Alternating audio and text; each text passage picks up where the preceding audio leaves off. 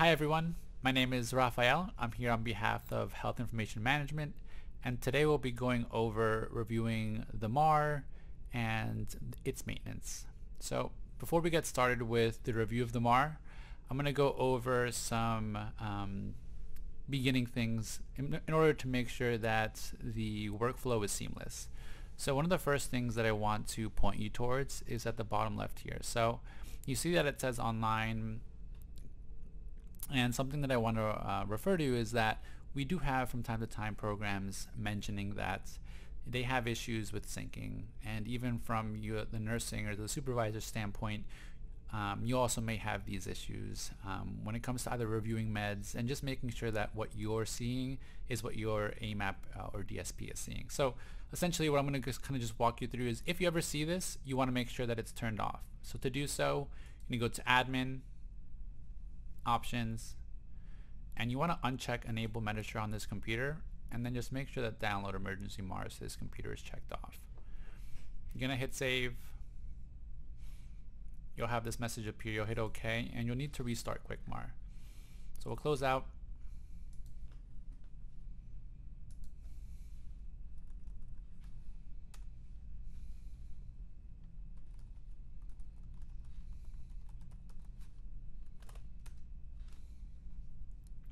just another thing to mention, you guys are all corporate users. All that really means is that you have access to all of the facilities that are currently live and you're always able to switch between them at any point.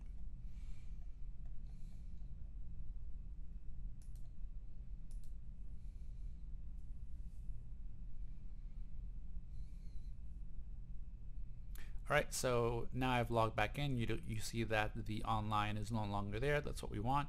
And now you can proceed with, in this case, uh, reviewing the orders.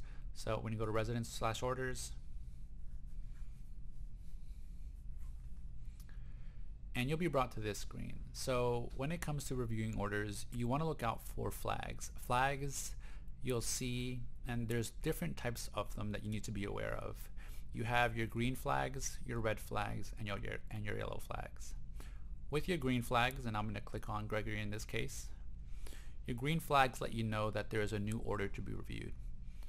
Green and red are essentially this mean the same thing. The only difference between them is that green is all ready to review, all the administration times are there, and it's ready to go. But one thing that we do want to caution you on is you still want to review it in its entirety. What I mean by that is that the script is correct from what uh, the pharmacy or even the physician completed and that the administration times are correct.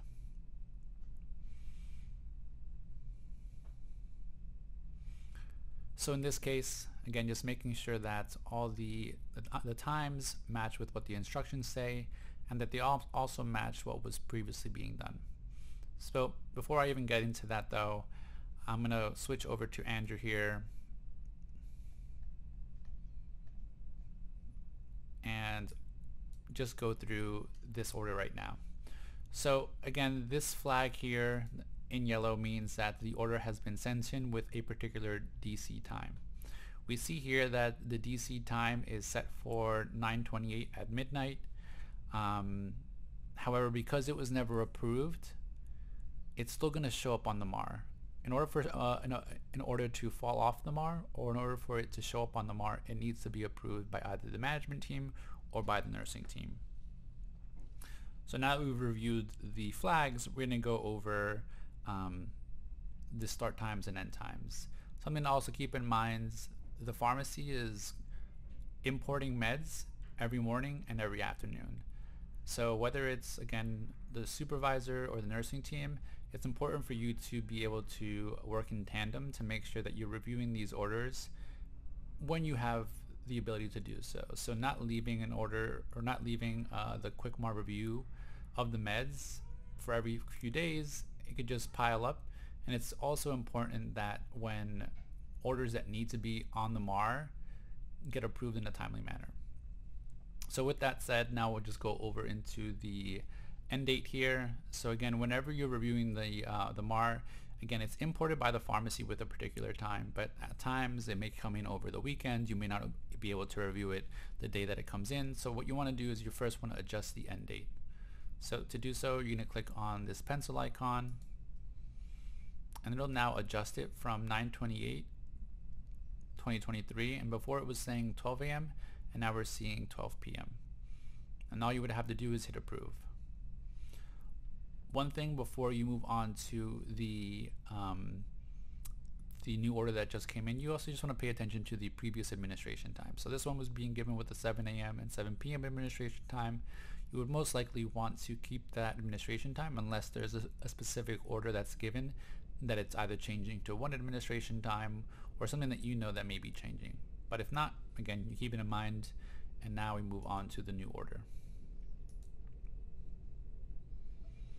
So the first thing that, uh, again, that we're going to go over is that you also are adjusting the start time. So again, clicking on this and now it's adjusting to 928 at 12 p.m. The reason that we're uh, adjusting the start time and also the end time for the recently DC'd med is you want to make sure that there's continuity. Sometimes um, the orders typically are put in with an end date of 2033. So if you're not careful about ending the previous order before starting the new one, you'll then have a medication show up twice in the MAR and then again if the AMAPs aren't careful with this they will look like the the resident will look like they're being double dosed. So again, just be mindful of that when you're DCing and approving medications. So once you've corrected the start time and end time, you want to you want to come now to the instructions. So again, the instructions say to use daily with insulin pen. However, if as a nurse you feel that this these instructions are not clear enough, you're always able to override with this feature here.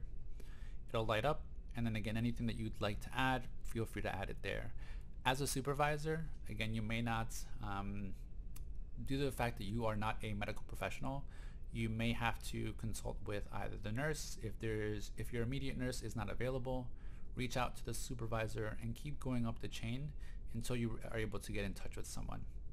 Once they give you the particular instructions that need to be made, on top of entering them here, there is also a notepad that says add note. Here is where you'll put in, you know, let's say that you spoke to RN Connie, for example, just to make sure that, again, there are some notes there to let anyone else that's reviewing this know who, um, who gave you the authorization to put in these instructions. From there, we're now going to move down to the time. So as I mentioned previously, the times that we saw on the old medication was 7 a.m. and 7 p.m. However, this medication, although it has a green flag, the administration time is not correct. So all you'll do here is enter the 7 a.m. time and adjust that there. If the quantity needs to be adjusted, you can do you can do so here and then the details. So again, although this says daily, you can always go in here to change it to the days of the week Monday or Wednesday as well as Friday.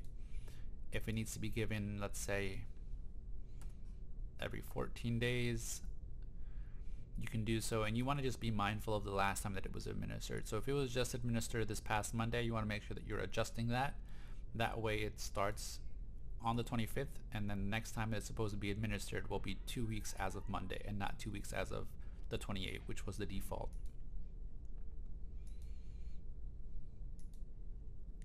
You're always able to add any additional administration times as needed and as well as remove. The default is always for it to become a routine medication, but if let's say this would be a PRN, you can just change it to that.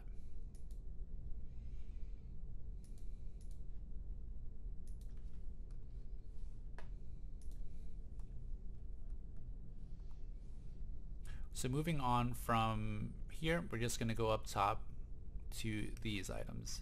So record, if it's the case that there is a medication that needs, let's say, a blood pressure recorded, pulse, so on and so forth, you'd be able to add as many vitals that needed to be recorded to this particular medication.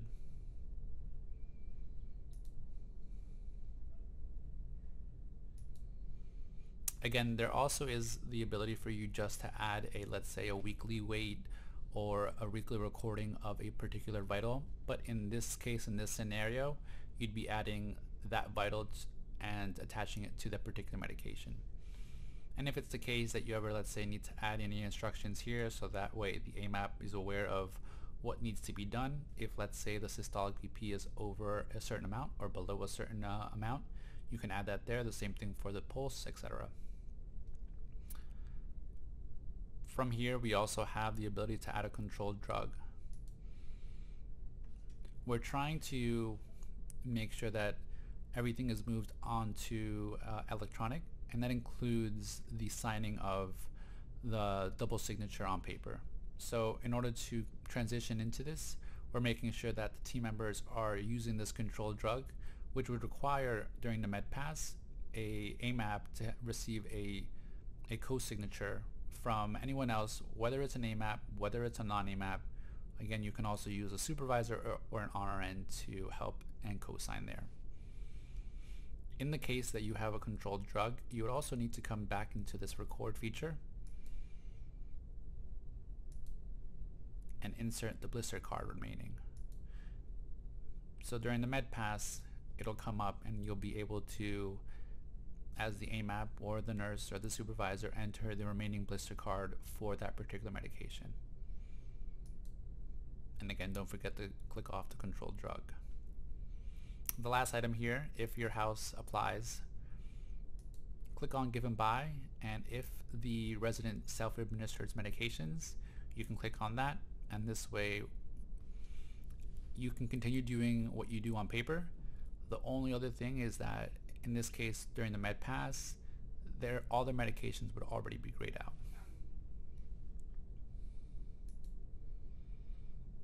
So that really is reviewing the the MAR. So again, looking out for the start times, the end time, adjusting the instructions, adding times, changing quantities, changing details. One thing to keep in mind is that once a medication is administered more than three times, it locks.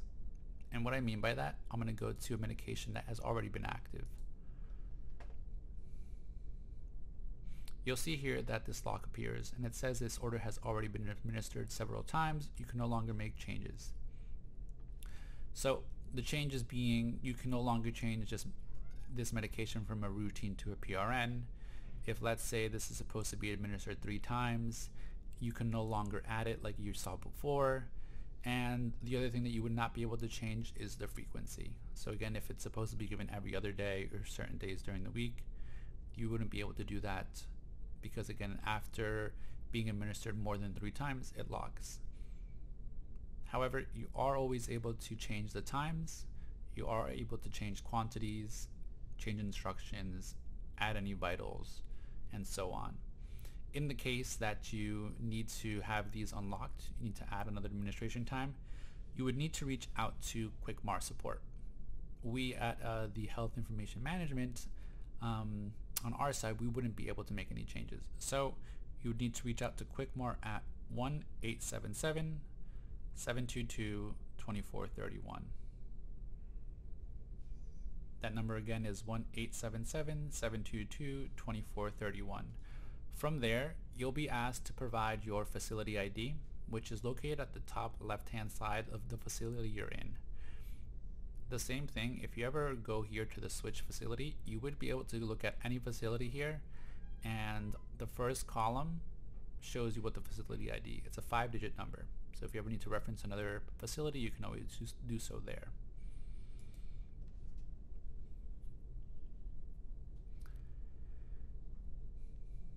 in the case, one thing that I wanted to mention before going down here, once you have actually finished this entire section and you go to save, if you have not selected a route, which can be done by the advanced tab, the system will tell you that you have not selected one. So you'll go here to route and just select the type overall. If none of the options here apply, you can always just go to other. and again from there once you finish that then you'll be able to come back here to approve something that we've noticed is that at times supervisors of the nursing team will hit save but won't hit approve. And unless you hit approve the medication won't appear on the MAR so just something to kind of be mindful of. So once you have finished completing let's say the reviews for Andrew in this case you would need to make sure that there are no more flags here. If you continue to see flags, it means that there's something that still hasn't been reviewed. And then the very last thing before we go down here is that you also have the ability to add medications manually. To do so, you're going to go here to add, you go to medication, and you'll enter the medication name, or if let's say it's an over-the-counter, you can go ahead and enter it there, you'll put in the strength, and you'll follow everything else as needed in this case, this may be a PRN, but if let's say um, they have a medication that's only going to be administered for a week, you can start it today as of noon, and then you can end it a week from now at 12 o'clock. That way you don't have to go back in to DC it. It'll just fall off the MAR next week after 12 o'clock. You'll add your instructions as you typically would. You would add your administration times, whatever they may be. If there needs to be a vital that needs to be recorded, you can do so there. And anything else that we previously went over, making sure that you don't leave the route unselected. So I'm going to just use oral in this case, and then you would hit save, and then it would appear on the MAR.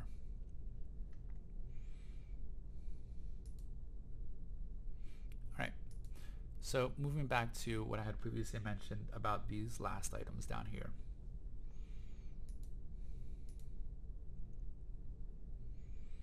In the case that you ever need to know who may have made the previous change or made the last change, you can use the change log feature here. It'll tell you the date that something was changed, who it was changed by. So this case, it tells you that there was imported data by CenterReach, which is the pharmacy.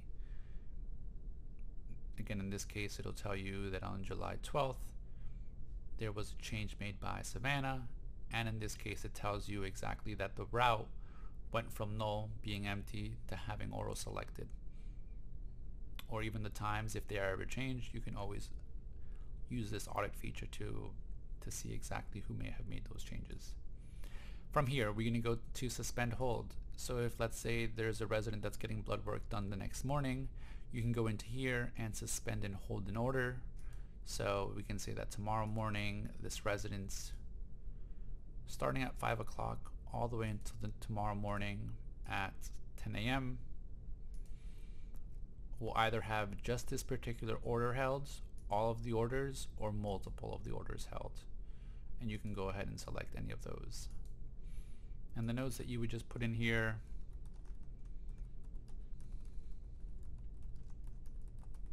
per doctor's orders and then hit save. And then the last feature, again, this is more so as an audit. If you ever need to see who may have administered the last medication, this is the schedule, this is the actual time it was administered, and this was the caregiver. If there's ever any um, recorded exceptions, you would see here resident refused, and if there's any notes there, they would add them if anyone ever tells you that they made a mistake and administered a medication when it actually should have been entered as an exception or vice versa, you can always go into this view edit feature.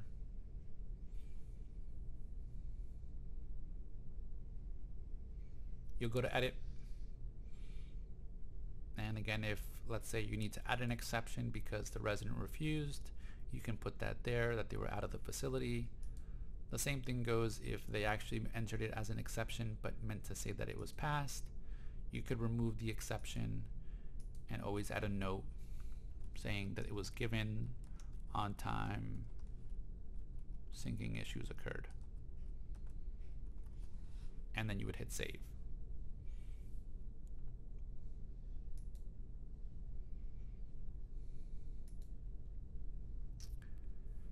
And that really does it for reviewing medications. If you ever have any questions, you can feel free to reach out to the Health Information Management team, or you can also reach out to QuickMAR support to the number that I provided. Thank you and stay tuned for other trainings.